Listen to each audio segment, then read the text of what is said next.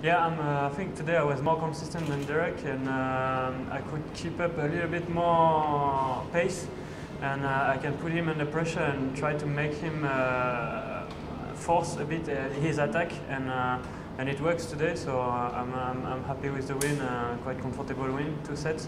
So yeah, it's good for my team. I launched the, the Euro All-Star with the men's single and the, the winner. So I hope my teammates will do the same now.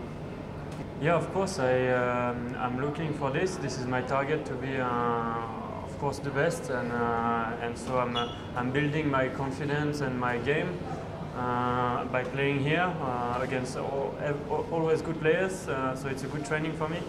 And um, I try to reach top 20 um, soon, and then next year it will be another step. Be, try to reach top 10, and yeah, this is my target. Before the game with, uh, yeah, we, he just asked me what is my tactic today against Derek because he know he knows I'm, uh, I know him. I practiced with him. Uh, we played a few times also in tournaments, so I knew how I should play against him. And uh, and my coach uh, just said, uh, okay, just try try as you said, and, if you can't find a solution, then we will change during the game. Yeah. Of course it's a tough challenge. Um, he's top 10, so I beat a few top 10s in my career.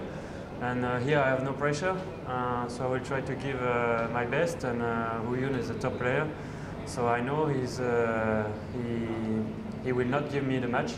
So I have to go for it and uh, try my heart out.